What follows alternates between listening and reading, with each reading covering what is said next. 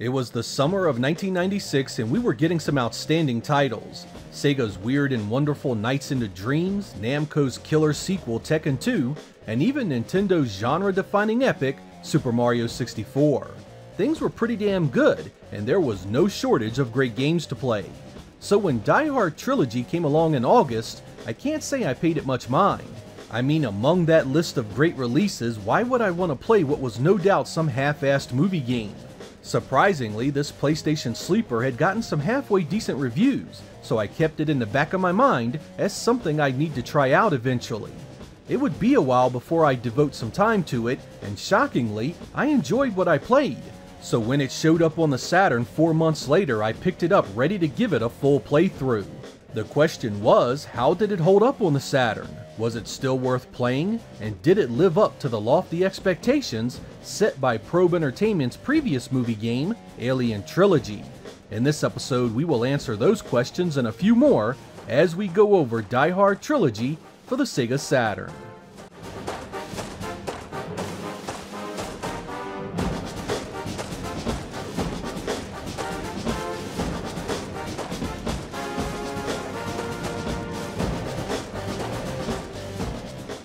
Like Alien Trilogy before it, this is loosely based on a series of movies under the Fox umbrella of properties.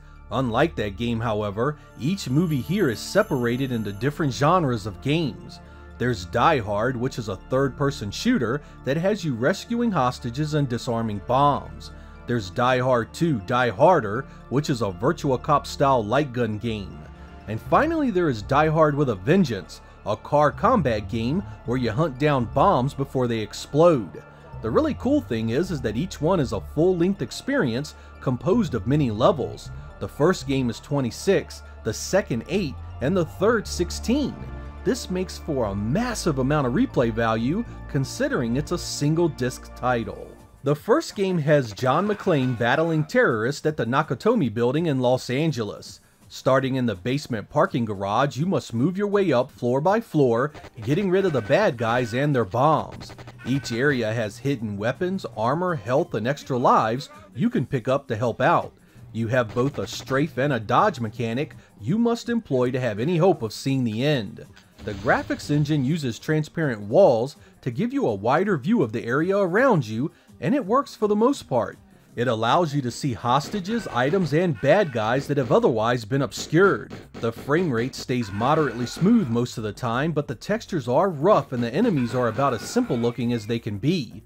It's a hell of a fun game though, and a great start to the package.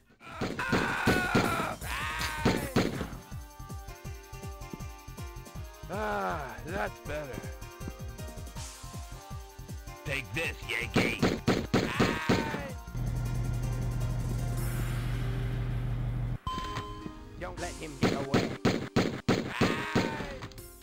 The second game starts out in an airport where the bad guys have taken hostages and must be taken out. This portion is pretty much the Virtua Cop formula verbatim.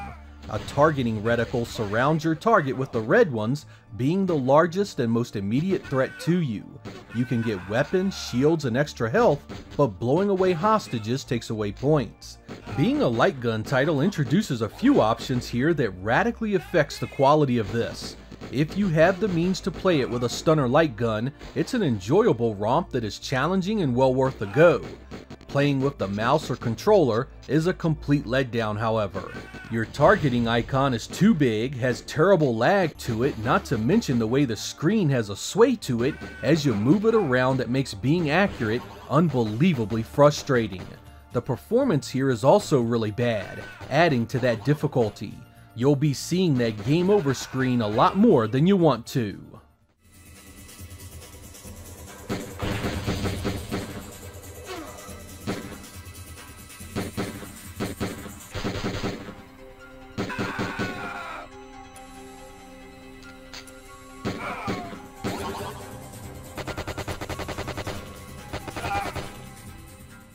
The third title takes place across the streets, sewers, and parks of New York City.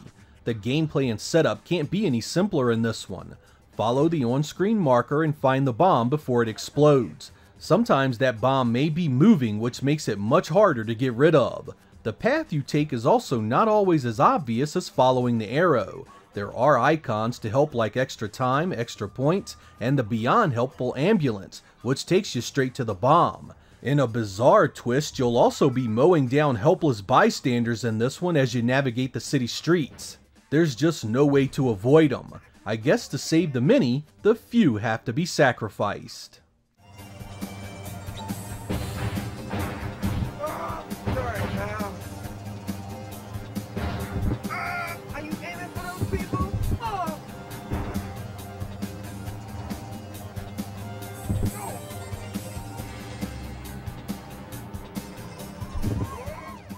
While I would love to sit here and extol the virtues of this game's graphics, every word of it would be a lie. This is a damn ugly game most of the time, especially the second one. A few minutes with the PlayStation original and you'll honestly wonder how the hell Alien Trilogy turned out as good as it did on the Saturn. Every area takes a hit. Transparencies are completely gone, now replaced by mesh textures that just don't look as nice. This means the walls, windows, and explosions in every game are affected. Performance does fare better in the first and third game, but things are really rough in the second. The chugtastic frame rate affects not just how it looks, but how it plays as well. Again, you can forget trying to play it with a controller. It's just entirely too choppy and laggy. A solid bright spot for the visuals is the third title, which manages an engine that both looks and runs quite well when compared to the PlayStation original. It kinda makes you wonder were three different teams in charge of the different games for the Saturn. I mean, how is it that an on-rail shooter runs and looks so much worse than an open-world car combat game? What sense does that make? Remember Virtua Cop 2 on the Saturn? How is it that it looks like this while Die Hard 2 looks like that. Fortunately, the other two pick up the slack enough to really hang in there and save the visuals from the complete shit show of the second.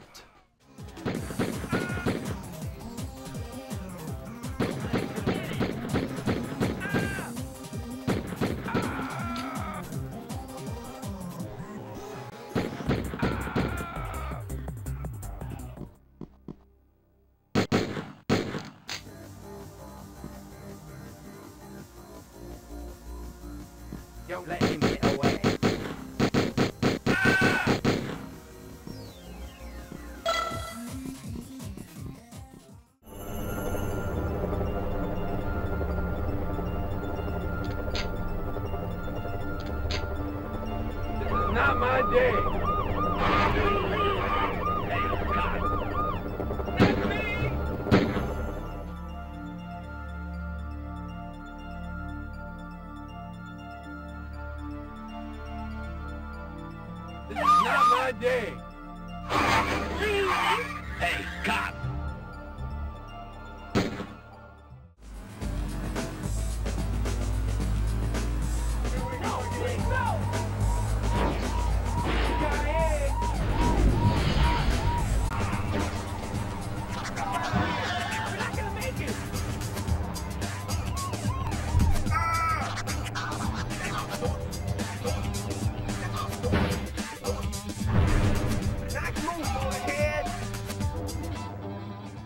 So where does that leave Die Hard Trilogy exactly? Do the rough visuals hurt it enough to make it a pass?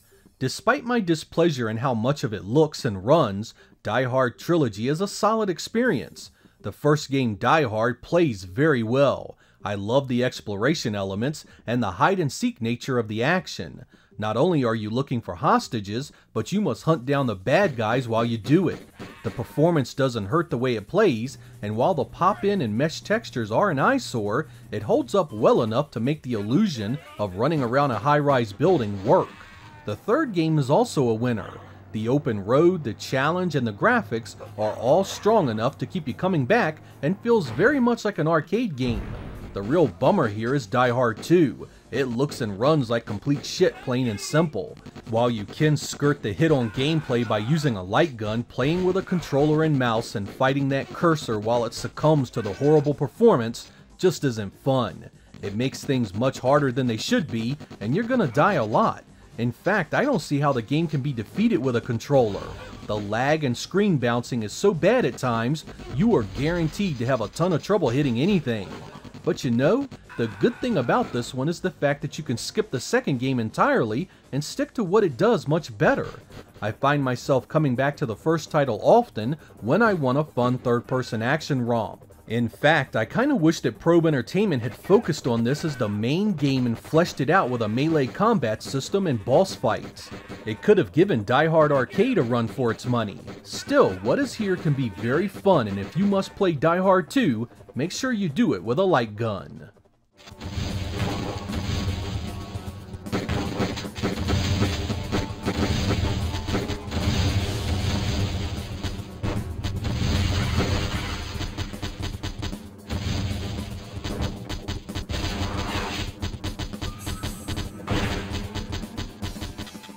Often during the Saturn's life, multi-platform titles got a bad name for their less than stellar showings. Despite Die Hard Trilogy being a solid experience overall, I'd say it definitely fits into that category. This is a better game on the PlayStation full stop. It runs better most of the time, and has much more impressive special effects. I will say that this is still worth a go on the Saturn for the sake of curiosity however. The first and third games play fine and many of the problems of the second can be offset by using a light gun instead of a controller. Still, I can't help but be disappointed with it.